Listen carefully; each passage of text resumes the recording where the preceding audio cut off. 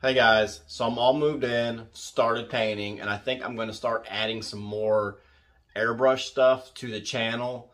The first one I'm going to start off, it's going to be a speed painting um, where I'm going to do this right here.